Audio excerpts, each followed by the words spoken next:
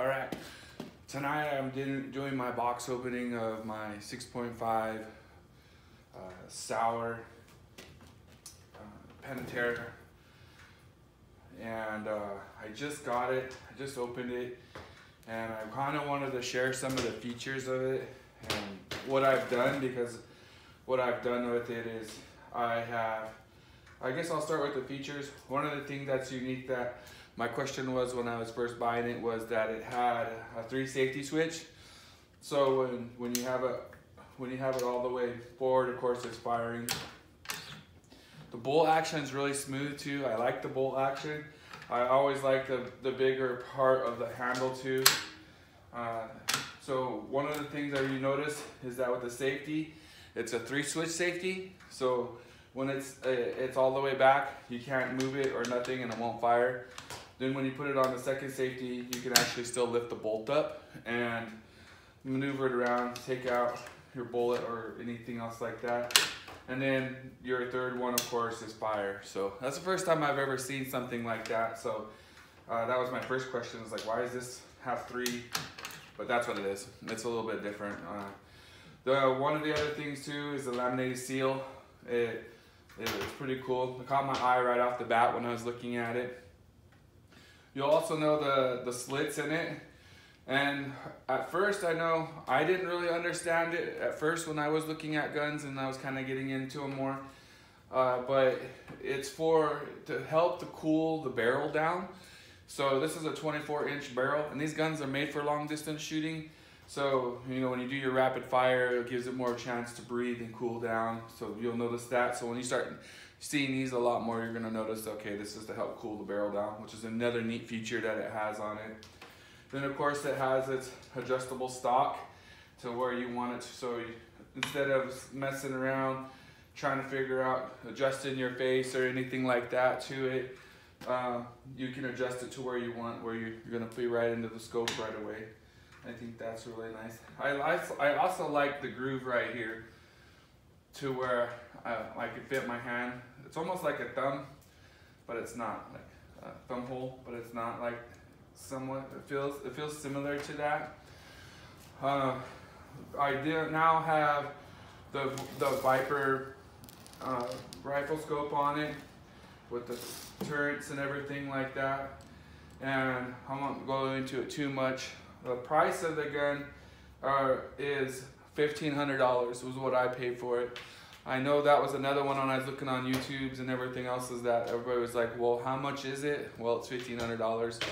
And um, to, to the rails were like 60 bucks. I made sure to get the good rails and also the good the, the good mounts, the Vortex too. So uh, I have with the Viper scope that's on it, it's it's also made for long range shooting for everything else that's pretty much set up for that and it's a thousand dollars too. So one of the other unique features that it has is that it comes with your.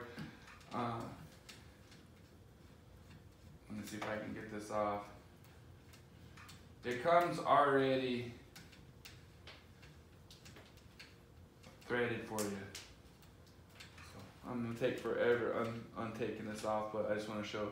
So it comes threaded already. I think when I the suppressor that I got for it, and I don't have the suppressor, is a high bore suppressor. And uh, that's, I had, I think I had to get a uh, adapter to it so that it would fit on there just because of the, the, I can't remember what was going on with it. The, bore, the high bore suppressor wasn't really matching up, so I had to get, I had to get one to put on there, but it already comes threaded for you. And then if you're going to go get your gun threaded anywhere, normally around here in Washington State, it's about 150 bucks per gun to get threaded. So saved 150 bucks, I guess, on that. Have the swivel bipods on here too. I love these bipods because they're about $150 somewhere in there, 120. Uh, but I love them too because when you're when you're sitting down and then like let's say elk just goes around that tree branch or something you can shift your gun over just like that and maneuver over with it too to make sure you get a shot. Uh, these are 27 inches. So when we measured, I sat down and we measured about how, how high it would be and all that other stuff. I really took my time on putting this together, um, uh, to be to come up with something that I'd really like shooting on a consistent basis. Uh, I also am trying the Hornadies, and these ones are I can't remember 100, 147 grain, but I thought I'd give them a whirl uh, and see if I would like to shoot these or not. And uh, this is uh, the first time I brought it out of the box. Uh, brought, put the scope on it, put the bipods on it. Uh, first time really even doing anything with it besides being in the being in the uh, shop when I was buying it. I was always in there looking at it. Uh, the suppressor, I haven't got the suppressor yet because I went into and got the kiosk done. So it'll probably take me, they said three to 11 months, but I'm probably shooting for a year. So who knows? Maybe I might get it within the third month or something like that. But but with the suppressor, it cost me a thousand dollars plus the two hundred dollars and the stamp was two hundred dollars and the fifty dollars for the tax, or whatever it was. So all together, it, com- it comes out close to four thousand dollars worth of stuff for this gun. And I took my time and made sure that this is something I wanted to do. So, and this is the type of gun I put together. Um, smooth gun, made for long distance, thousand dollars or thousand dollars, thousand yards shooting. So, uh, if there, I hope this showed a little bit more into the Sauer 100. Um, this is the setup I have for that I'm going to be using for my long range shooting. And um, probably then when I get my suppressor in, I'll go and do a video of putting it together and then shooting it. So, all right. Have a good night, everybody.